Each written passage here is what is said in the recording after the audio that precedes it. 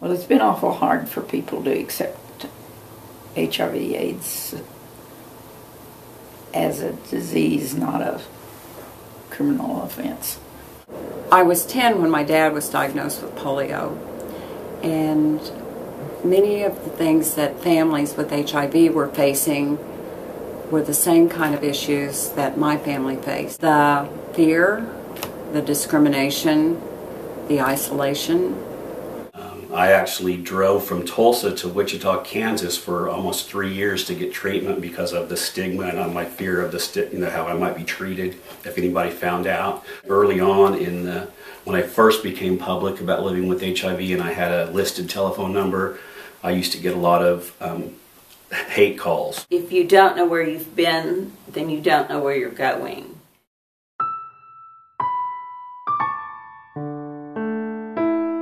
The late 80s, I was in seminary here in Tulsa, and I had a friend who worked at St. John's Hospital as a nurse. And she called me one afternoon and said, There's a young man here who's been in the hospital for over a month. He's dying of AIDS. Would you mind coming by to see him? I knew nothing about HIV AIDS. I was new to seminary and um, but I said, of course, I will absolutely do that. About 96, I um, had read an article about black women and HIV, and it kind of just like shocked me. So, and it was an Essence magazine article, and um, it was talking about black women being infected in large numbers, and it kind of freaked me out because I was married to a cheating man and was trying to get out of the relationship, and now I had to think about HIV, and so it took me about three months to go get a test. I was a nervous wreck. Finally went and got it and came back negative. But I kind of thought, if I'm that scared, how many other black women don't know like I did? And, and when they find out that they may be in at risk for getting HIV, how scared are they to go get a test? And so I started going door to door in North Tulsa and handing out a flyer, a flyer that I still have about HIV and African American women. And uh, I did that for about two years, and I can remember going to people's houses, and they'd be like, uh, not tell them about it, and they go, and they go "Do you know my husband?" no, I don't. When I first got there, um, I went in and I introduced myself, and I said, "I'm Reverend Leslie Penrose, and I've come to um, visit you." And he said, "Don't bother. My church already told me I'm going to hell." So I sat with him for about 30 minutes that afternoon, and um, just talked a little bit about how I didn't believe that at all, but mostly just kind of sat there and um, was with him for a while. Well, he asked me to come back the next day, and I actually ended up coming back for every day for almost two weeks and was able to help him get a little bit of closure in his life, and um, he died. And I thought that was kind of the end of it. And then a few days later, I got a call from somebody else who wanted to visit. And then a couple of days later, somebody else who wanted to visit. And within three or four months, um, I was visiting at St. John's and St. Francis and Hillcrest and a lot dealing with people living with HIV and AIDS. Because at that particular time, there really were not a lot of um, religious folks in Tulsa who were connected with that work and who were doing that work. By the time I was 40, um, all of the male close friends in my life had died from this disease or were infected with this disease. And so I was drawn to it. It was a it was a fight that I couldn't do. I couldn't not do.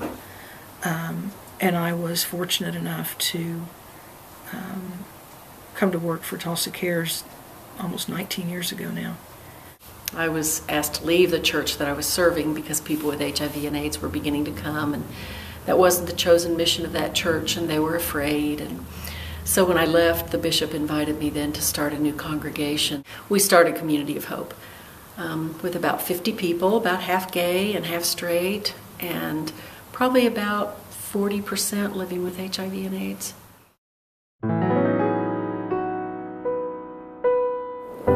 When the AIDS epidemic first appeared in California, it reminded me very much of the early years of the polio epidemic. And I followed it very closely until in the mid 80s. it began to come to Oklahoma. And I think that we always believed that in the early years it was an east or west coast kind of problem and that it probably wasn't going to make it to this state. Native people really felt like it was a white man's disease in the late 80s and the early 90s. We still have people to this day that think it's a gay white male disease. So, you know, you're not white, gay, or male, then what are you concerned about that for?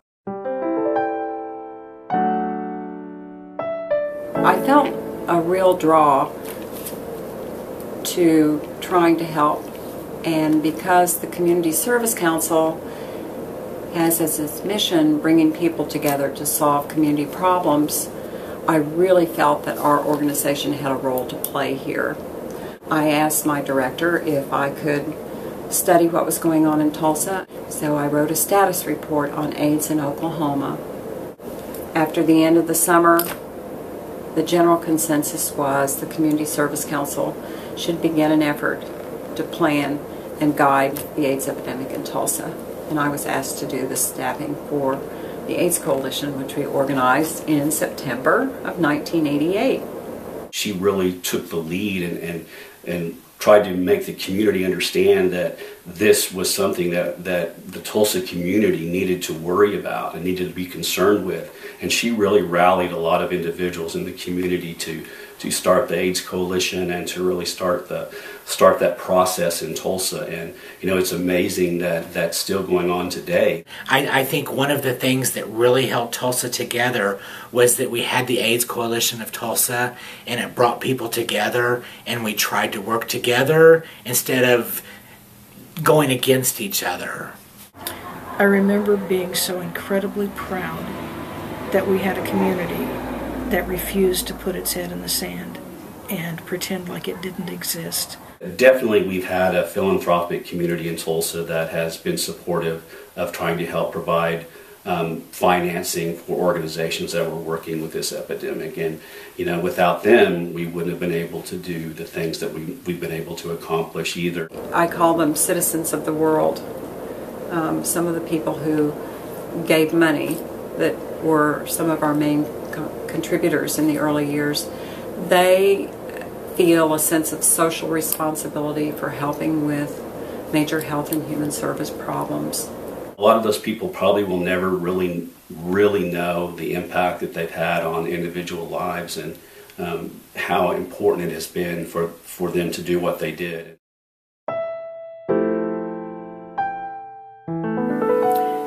Early days provided some difficulties for many of us, especially educators, because you can't really do HIV without talking about sex and talking about condoms, and that was banned oftentimes. The religious barrier was an issue, the fear of administration, the fear of parents, the fear of teachers, the fear of kids. That was like one of the biggest barriers. Fear. It was that stigma. Nobody wanted to talk about it. Nobody would talk about it. So we, it was all about trying to find creative ways to get the message out, but not offend somebody. It really depended on the educator and the relationship that, that they developed with that community or with that organization or with that church.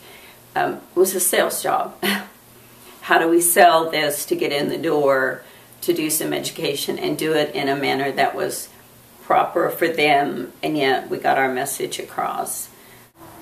We were the first state, you know, in the United States to mandate AIDS, AIDS education in the public school system. This community was really cutting edge. I think collectively with that state school law, that has helped us a whole lot be able to reach groups that we may not have been able to reach.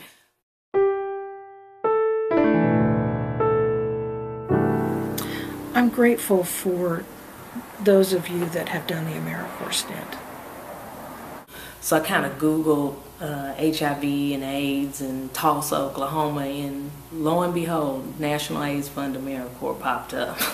I wanted to do something. I wanted to be part of my community. The reason I got involved with AmeriCorps was I had lost my partner 15 years. I met Janet, Janice and them, and they kind of coerced me. And I filled out the uh, application for AmeriCorps, and was accepted on the very first team here in Tulsa through what was at that time the National AIDS Fund in Washington, D.C. I did RAIN full time my first year. So at that time, RAIN stood for uh, Regional AIDS Interfaith Network. My part in doing RAIN that year was they needed somebody to focus a little bit more on African Americans. And so that was really their first year of being able to get into black churches in large numbers like we did. My very first placement was at a place called Visiting Nurse Association, or VNA. And we had the contract with the state to case manage the patients that were on the Ryan White program. That second year, I was at Hospice of Green Country, primarily doing the same thing, you know, casework, you know, with patients living in the community. They asked me to stay, stay on with them. And the only opening they had that really fit for me was in the accounting department, which is, you know, what I'd done in school some. And so that's where I went, and um, that's still where I am today. It, it, it, it saved my life, I can say that. Because I, I think at that point I could have really given up and died. And wouldn't have been nothing else. But it gave me something to do.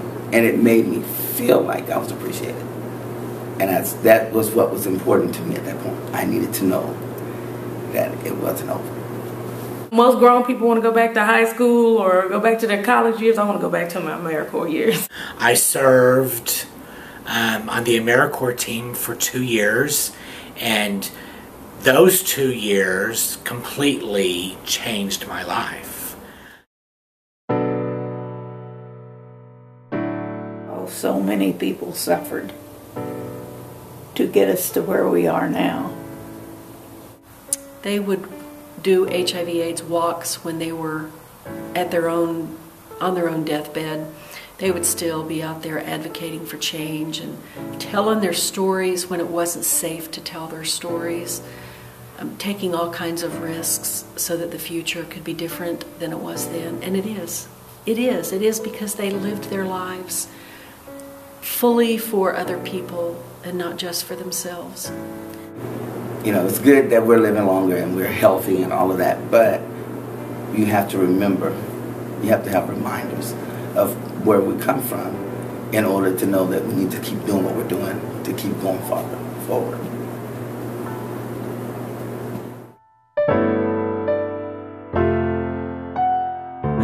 The, the HIV and AIDS community in Tulsa has always, to my perception, been a strong community. It hasn't always been large, like numbers of people, but it's always been a strong.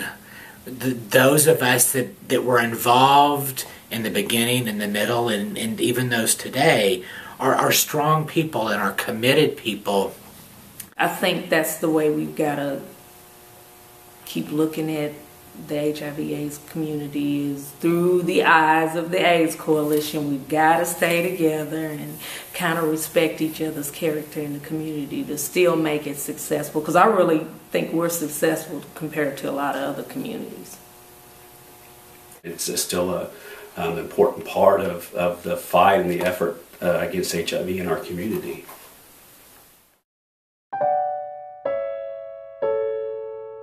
Only about 60% of the people in the Tulsa area who are living with HIV and AIDS and know it are connected to medical care and treatment. So we still have a lot of work to do, even though we've come a long way. People aren't dying like they used to, but someday in the future it might be something else, you know, and I hope that they're able to look at what, what we did, if that ever happens in the future, to look what we did around HIV and AIDS and that what we've learned and how to organize um, against a, a, a, a, disease. I don't believe there's anything that we can't do as a community. I don't. I know that there will always be um, stumbling blocks along the way. But as long as we keep our eye on the prize, you know, as long as we, as long as we get really focused on what we want, and we and we don't get involved in all of the chatter on the sidelines and we just stay very focused on on the outcome that we want, uh, and we do it with kindness and cooperation and collaboration, all of those. uh, all of those words that we use, but if we really put our money where our mouth is and actually walk that walk, there's nothing that we can't do.